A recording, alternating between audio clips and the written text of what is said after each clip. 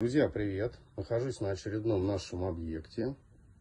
Хочу вам показать, какие допустил ошибки застройщик данного каркасного дома, а, которые, собственно, приводят к огромным теплопотерям и к повышенным счетам за отопление дома в зимний период.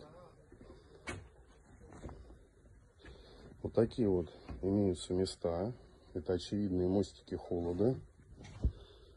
Из-за чего это произошло? Утеплитель просто-напросто сюда пытались напихать.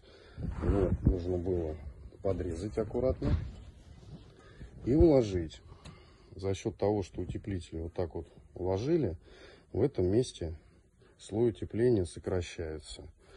А, доска здесь 150 использована, соответственно, пирог утепления должен быть, быть выполнен 150 миллиметров. Вот на таких вот участках, где утеплитель не подрезали, а просто затрамбовали, а, толщина теплоизоляции сокращается.